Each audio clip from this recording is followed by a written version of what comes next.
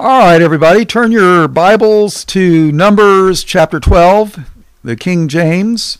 This is Chaplain Bob Walker, Light of the World Ministries. Now, little something here. It says that Moses married an Ethiopian woman. Uh, and everybody would say, well, that's proof she's black. Uh, no, it just says that this woman's from Ethiopia. Ethiopia was one of the lands of Ham. You know, you had Shem, Ham, and Japheth. Ham was not of the chosen seed. Uh, you know, that doesn't mean necessarily that she was black.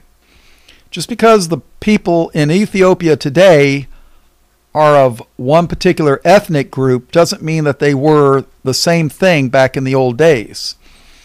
Um, let's face it, there was a time when Haiti was a French colony, and um, the black Haitians uh, rose up and killed all the white people on the island. And today you go there and they're all black. Uh, does that mean that they were always black? No. No, it doesn't mean that at all. But uh, now Haiti is the poorest country in the Western Hemisphere. The only thing that I know that they export is uh, Barbancourt rum. That's it. So, you know, it's like uh, South Africa. A hundred years ago, if you said, "Oh, I'm from South Africa," well, you were you were white, of either Dutch or English descent.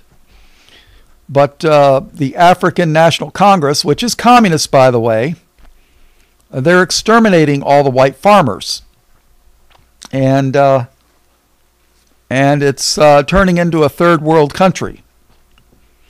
So uh, does that mean that uh, Moses married a black woman because it says she was from Ethiopia? Not necessarily. You know, I don't know. One day we'll find out.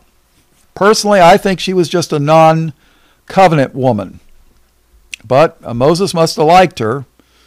Uh, so, what can I tell you? Numbers 12. And Miriam and Aaron spake against Moses because, because of the Ethiopian woman whom he had married, for he had married an Ethiopian woman. Now, Miriam was the sister of Moses. And they said, Hath the Lord indeed spoken only by Moses? Hath he not spoken also by us? For and the Lord heard it. Now the man, man Moses was very meek above all the men which were upon the face of the earth. And the Lord spake suddenly unto Moses and unto Aaron and unto Miriam, Come out, ye three, unto the tabernacle of the congregation. And they three came out. And the Lord came down in the pillar of the cloud and stood in the door of the tabernacle and called Aaron and Miriam, and they both came forth. And he said, Hear now my words. If there be a prophet among you, I, the Lord, will make myself known unto him in a vision, or uh, and will speak unto him in a dream. Remember, this series is dreams and visions, right? If there be a prophet among you, I, the Lord, will make myself known unto him in a vision, and will speak unto him in a dream. My servant Moses is not so, who is faithful in all mine house. With him I will speak mouth to mouth, even apparently and not in dark speeches, and the similitude of the Lord shall be he behold. Wherefore then were ye not afraid to speak against my servant Moses?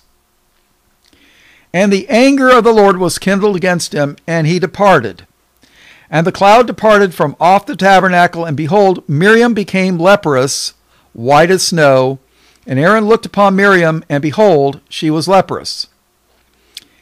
And Aaron said unto Moses, Alas, my Lord, I beseech thee, lay not the sin upon us, wherein we have done foolishly, and wherein we have sinned.